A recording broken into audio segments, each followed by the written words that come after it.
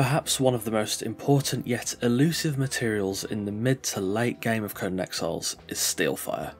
It's incredibly important for creating steel and hardened steel, and it's one of those things that you really have to make a concerted effort to collect. Some enemies will drop you the occasional Steelfire, but that's not a consistent method at all. So how do you effectively farm it? Well, let's take a look at, in my opinion, the best method. This guide is aimed at new players, though if you are returning to the game from a long break, this should be a nice refresher for you. All of this information is based off of the basic tannery workbench and the basic firebowl cauldron, though you may see some yield improvements later on in the game with the improved variants of each workstation. This is the very minimum you should get. Steelfire requires one brimstone and two tar, one steel fire and 5 iron bars create one steel bar, and whilst I would recommend trying to move out of the steel age as fast as possible and up to hardened steel and then of course star metal, steel reinforcements are used very heavily in tier 3 building, so you are pretty much always going to need a lot of it. As I said, it's 2 tar and 1 brimstone to make a steel fire. Brimstone is really easy to collect from the Shattered Springs, we'll be looking at that later. You can quite easily farm up a few thousand brimstone in 10 minutes or so so tar is always going to be the bottleneck in your steel fire manufacturing line. So how do you make tar? Tar is generally a byproduct of tanning hides. You can create tar, alternatively, by putting 25 coal into a fluid press, although that is, in my opinion, a massive waste of coal, or by mixing raw ash and oil or resin in an alchemist bench, though that does require you to have a named alchemist working the bench, so not exactly practical for the early to mid game. Therefore, the most efficient way to make tar in the mid game is to simply make sure that you are always tanning hides.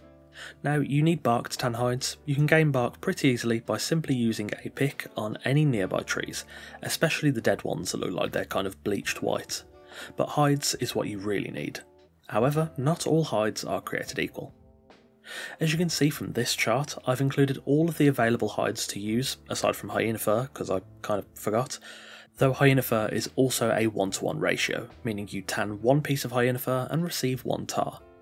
That ratio is pretty much the case for the vast majority of hides, aside from fur and regular old hide you'd get off, say, gazelles, both of which are a 3 to 1 ratio, which is not very good.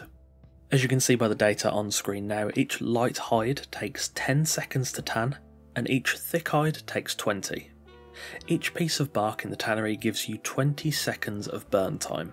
Anything at or below the 1 bark per tar ratio is a great option, though you'll also see that fur and regular hide are quite inefficient for mass tar production. Therefore, you will want to target lighter hides like feline, hyena, reptile, wolf and bat, and you'll also want to target thick hides especially, such as rhino, elephant and bear. This is where our farming spot comes in, the savannah. This place is full of rhinos, tigers and elephants, so you'll want to bring some solid armour and a good weapon, along with your best skinning knife and some aloe pots. Now, I personally don't bother with the elephants, they are a much tougher fight than the rhino. The rhinos are fairly easy foes, you've just got to mainly avoid their running attack, which can quite easily stack a reasonable bleed onto you. Also, just try to avoid their head in general, as you can quite easily get stuck inside them. You can also kill tigers to acquire feline pelts, though I would try to focus on the rhinos instead. The feline pelt is just a bonus. From the rhinos you'll get thick hide, rhino hide and exotic meat, so it's also a fairly decent source of food alongside the huge amount of hide you'll receive. Once you've farmed up a good amount of hide, there is one more thing you'll want to do. Now let's say for argument's sake you've collected a thousand rhino hide, that would cost a thousand bark to create a thousand tar, not bad, but we can make it even better. If we put the rhino hide into the tanner's bench, we can strip two rhino hide down into three thick hide. Whilst thick hide has the same tar rate as rhino, you're stripping them down at a 2 to 3 ratio, so from 1000 rhino hide you'll end up with 1500 thick hide, getting an extra 500 tar pretty much for free. Seeing as bark is quite easy to come by, this method just simply increases the number of tar you can produce from one trip, and it's probably the most efficient way to do so. As a general rule, anything that strips down into light hide, so hyena, feline, reptile, that should all go straight into the tanner's bench to be tanned, and anything that you can strip down into thick hide should be stripped in the tanner's table to achieve maximum efficiency.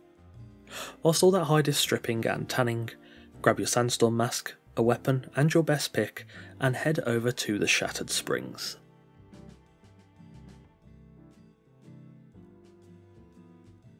Now we're here, we can harvest the large stalagmite-like formations to gather brimstone quite easily.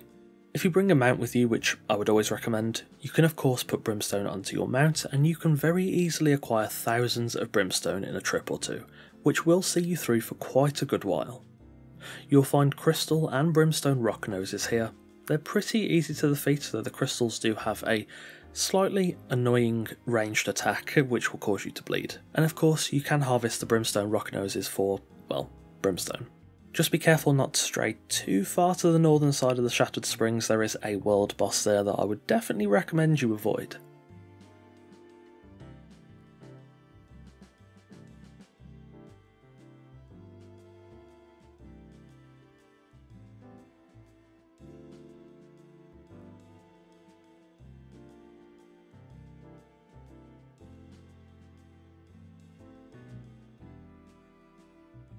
Once you finish your trip, head back home and hopefully all your hide will be tanned.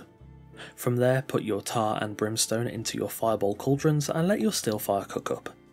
Now, I would definitely recommend getting yourself an improved firebowl cauldron as soon as possible.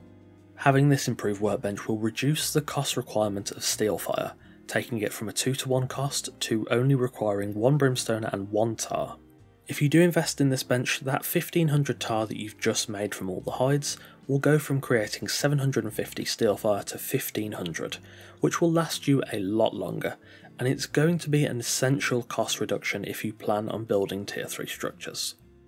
So, to conclude, you want to head over to the savannah, kill some rhinos, skin them, bring the hides back to the base, strip all of your rhino hides down into thick hides, tan your thick hides in the tanner with bark, and then go and grab some brimstone from the Shattered Springs.